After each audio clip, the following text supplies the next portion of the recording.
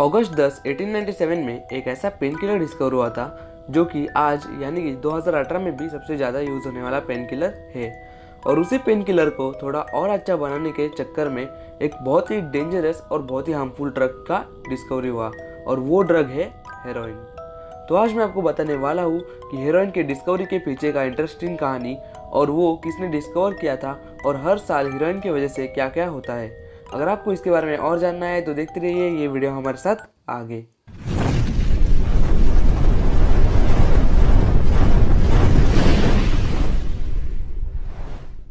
तो ये कहानी शुरू होती है 21 जनवरी 1868 से। तो 21 जनवरी 1868 में जर्मन केमिस्ट फिलिक्स ऑफमैन का जन्म हुआ। और उनके जो पिता थे, यानी कि फिलिक्स ऑफमैन के जो पापा थे, वो एक मैन्युफैक्चरर थे जर्मनी में। और उसी की वजह से फिलिक्स ऑफमैन के अंदर केमिकल प्रोसेसेस और मैन्युफैक्चरिंग को लेकर इंटरेस्ट जनरेट हुआ। तो अभी 1889 में उन्होंने अपनी केमिस्ट्री की स्टडी करना शुरू कर दिया यूनिवर्सिटी ऑफ़ म्यूनिच से और 1891 में उनको अपनी ग्रेजुएशन सर्टिफिकेट मिल गई। और कम से कम दो साल के अंदर ही उन्होंने अपनी पीएचडी भी कंप्लीट कर ली, यानी कि 1893 को उनको अपनी पीएचडी मिल गई।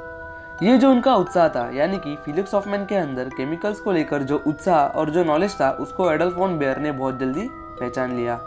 एडोल्फोन बेयर वही साइंटिस्ट है जिनको आगे जाकर नोबल प्राइज मिला था 1905 में कलर आइस के ऊपर रिसर्च करने के लिए। तो एडोल्फोन बेयर ने फिलिक्स ऑफमैन को ये सजेस्ट किया कि वो बेयर कंपनी ज्वाइन कर ले एज अ फार्माक्यूटिकल रिसर्चर अभी फार्माक्यूटिकल रिसर्चर क्या होता है? फार्माक्यूटिकल रिसर्चर वो होता है जो अलग अलग तरह की दवाइयों के ऊपर रिसर्च करता है और नई नई दवाइयों को ढूंढ निकालता है। तो एडोल्फोन बेयर के सजेशन के ऊपर जरा सा सोचने के बाद 1894 में फिलिक्स ऑफ़ मैन ने बेयर कंपनी ज्वाइन कर ली एज अ फार्माक्यूटिकल रिसर्चर तो अभी यहाँ पर एक बात आती है, जो कि एक नॉर्मल रिसर्चर और एक लेजेंड को अलग करती है। और वो बात ये है कि फिलिक्स ऑफ़ मैन एक ऐसे किस्म के रिसर्चर थे जो कुछ नया बनाना चाहते थे। वो कुछ ऐसा बनाना चाहते थे जिससे एक रिवोल्यूशन आए। फिलिक्स ऑफ़ मैन वो नहीं करना चाहते थे जो कि सब रिसर्चर्स करते हैं, यानी कि पुराने मेडिसिन को मॉडिफाई करके नए मेडिसिन बनाना, बल्कि वो अपना एक नया मेडिसिन बनाना चाहते थे। तो अभी हुआ क्या कि फिलिक्स ऑफ़ मैन के जो पिता थे, यानी कि उनके जो पापा थे, वो एक अर्थराइटिस पेशेंट थे। अभी अर्थराइटिस क्या होता है? अर्थराइटिस वो बीमारी है जिसमें पेशेंट के जॉइंट्स यानी कि एल्बोज शोल्डर्स नीज उसमें बहुत ज़्यादा पेन होता है। और स्टिफनेस आ जाती है यानी कि वो अपने जॉइंट्स को हिला भी नहीं सकते। तो फिलिक्स ऑफमैन के जो पिता थे, वो एक अर्थराइटिस पेशेंट थे और उसी के कारण वो अपनी जगह से हिल भी नहीं सकते थे और उनको बहुत ज़्यादा दर्द होता था। तो उस टाइम के जो पेन किलर्स थे, यानी कि उस टाइम पे जो पेन किलर्स थे, वो इतने बराबर नहीं थे, यानी कि वो बिल्कुल भी ठीक नहीं थे। वो पेशेंट को और भी बुरा फील कराते थे और उसके अलग साइड इफेक्ट्स भी होते थे। तो यहीं पर पूरी स्टोरी टर्न लेती है। अभी फिलिक्स ऑफमैन एक नया पेन किलर बनाने की रिसर्च में लग जाते हैं। और उनकी जो रिसर्च है, वो उनको एक केमिकल के ऊपर लाके पहुंचाती है, और वो केमिकल है सेलिसाइलिक एसिड तो ये जो सेलिसाइलिक एसिड है, वो विलो ट्री की बार्क में मिलता है। अभी बार्क क्या होता है? बार्क ट्री का सबसे बाहर वाला हिस्सा होता है। पर सेलिसाइलिक एसिड की डिस्कवरी 1830 में ही हो चुकी थी, और 1859 में रिसर्चर्स को सक्सेस मिल गई थी उसको केमिकल फॉर्म में एक्सट्रैक्ट करने की। पर 1859 में सेलिसाइलिक एसिड से पेनकिलर्स बने। और वो जो पेनकिलर्स थे, वो ऐसे थे जो खाने से पेट में दर्द होता था और उसके साइड इफेक्ट्स भी होते थे। तो अभी हॉफमैन ने एक ऐसा तरीका ढूंढ निकाला जो कि लोगों के लिए सेफ़ हो।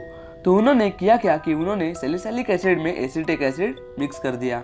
एसिडिक एसिड तो आपको पता ही होगा विनेगर हाँ दोस्तों, हम लोग खाने में जो विनेगर डालते हैं, उसमें फाइव परसेंट एसिडिक एसिड होता है और बाकी सब पानी होता है।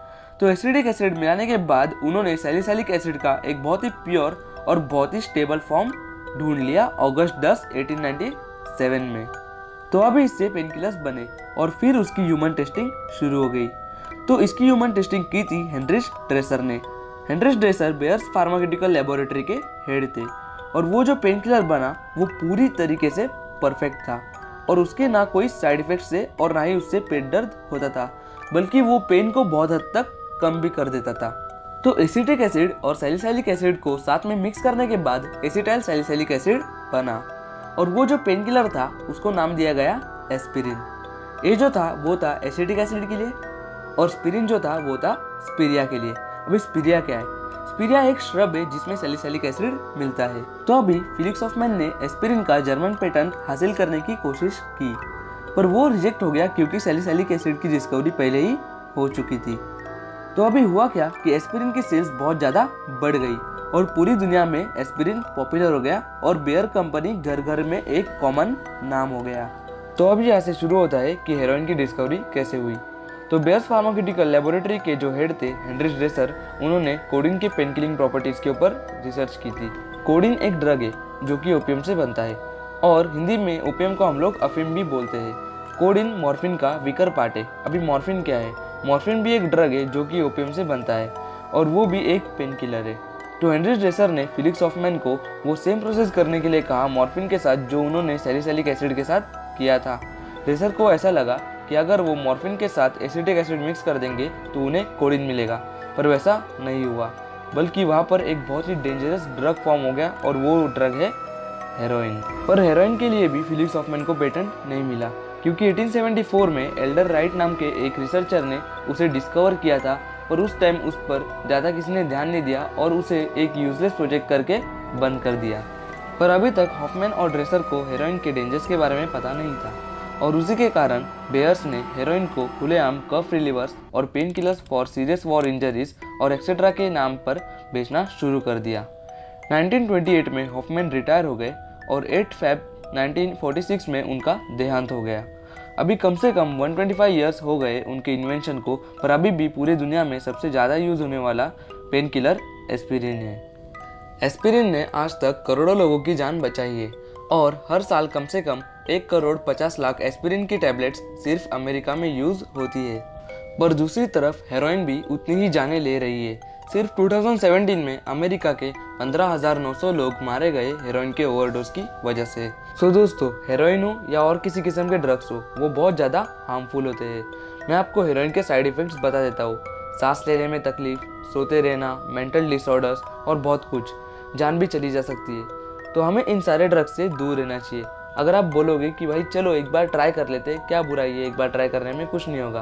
पर ऐसा नहीं है। ये ड्रग्स सुपर एडिक्टिव होते। हैं अगर आप एक बार ये ट्राई कर लो ना फिर आप ड्रग्स के बिना रह नहीं पाओगे। सो so, दोस्तों मैंने ये वीडियो क्यों बनाया? क्योंकि आजकल के यंग जनरेशन में ड्रग्स वगैरह बहुत ज़्यादा बढ़ गए हैं। और इस वीडियो के कारण आपको पूरा नॉलेज मिल चुका होगा कि ये ड्रग डिस्कवरी कैसे हुआ और खुद जिसने ये ड्रग बनाया है उसने ये कभी ट्राई नहीं किया। पर हम क्यों ट्राई करें फिर? So, दोस्तों आज की वीडियो के लिए हम इतना ही कंक्लूड करना चाहेंगे अगर आपके मन में कुछ सवाल हो तो आप कमेंट में ज़रूर पूछ सकते हैं और अगर आपको ये वीडियो पसंद आया हो तो लाइक कीजिए शेयर कीजिए सब्सक्राइब कीजिए क्योंकि आगे भी ऐसे वीडियोस में लाता रहूँगा धन्यवाद दोस्तों Too many thoughts on my mind, I can't sleep at night, so I just keep writing. I don't need no help, I don't need opinions, so don't waste my time then. I just been living online, my city don't show me no love, and that's fine. Fuck local radio stations, I got more plays than all of these rappers combined. I'm going, I'm going.